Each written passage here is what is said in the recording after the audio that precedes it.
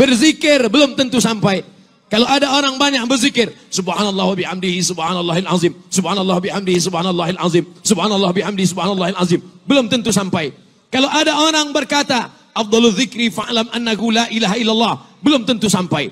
Tapi solawat pasti sampai. Seratus peratus solawat pasti sampai. Kenapa? Karena kalau zikir untuk dia, subhanallah untuk dia, alhamdulillah untuk dia, Allahu Akbar untuk dia. Tapi manakala dia berkata, Allahumma salli ala Sayyidina Muhammad. Untuk dia nun yang jauh di sana. Dan Allah pasti kabulkan. Kerana Allah berjanji, wala saufa yu'tika rabbuka fatarda. Apa yang kau mau, pasti aku akan beri. Dan Allah kalau sudah berjanji, Allah tidak akan ingkar janji. Innaka la tukhliful mi'ad.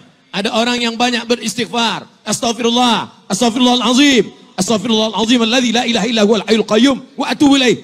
Hanya dosa yang diampuni Allah. Tapi orang yang bersalawat, huttat anhu asyara sayiat. Dosa diampunkan. Diberikan Allah syafaat. Diberikan Allah Subhanahu wa taala darajat. Diberikan Allah Subhanahu wa taala aqrabu majlisan, majlis yang paling dekat dengan Rasulullah majlis yang paling nampak dengan Rasulullah. Siapa dia? Aksaruhum salatan.